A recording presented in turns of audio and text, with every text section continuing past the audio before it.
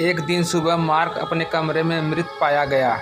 उसकी पत्नी ने तुरंत जासूस मेहुल को बुलाया। मेहुल तुरंत घटनास्थल पर पहुँचा और मार्क की पत्नी से पूछताछ करने लगा। पत्नी ने बताया, जब मैं कमरे में पहुँची तो मैंने उसे मृत पाया। मैंने इसके बारे में किसी से कुछ नहीं बताया। उस समय घर में दो लोग मौजूद थे। जब हत्या हुई, मेहुल ने उन लोगों से मार्क के बारे में पूछताछ की। माली, मार्क सर बहुत अच्छे व्यक्ति थे। वह हम सबकी बहुत परवाह करते थे। रसोईया, मैं मार्क सर के बारे में बहुत नहीं जानता सिवाय इसके कि वह खाने के बहुत शौकीन थी।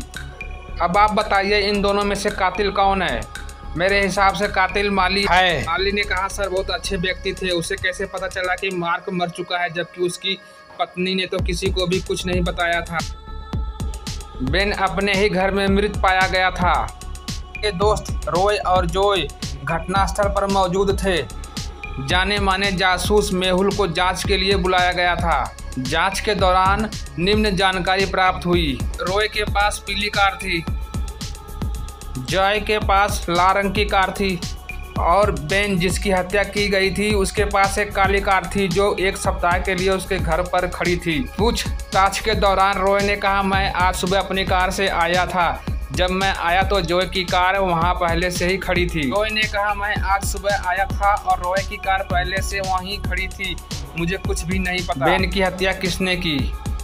रोय जोय के सामने आया, क्योंकि अगर वह जोय के बाद आया होता तो उसकी कार बीच में नहीं रखी जाती, क्योंकि दरवाजे नहीं खुलते। जोय ने ही बेन का मर्डर किया था।